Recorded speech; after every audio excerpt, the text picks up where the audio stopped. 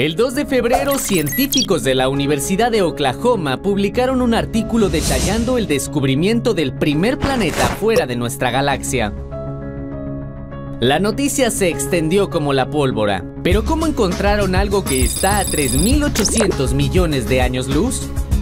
Buscando un fenómeno llamado microlente gravitacional, esto significa que cuando un objeto de masa suficientemente grande pasa por una estrella, su campo gravitacional doblará la luz de la estrella a su paso. Y si un telescopio está perfectamente alineado, la imagen de esa estrella se magnifica y distorsiona, como una lupa.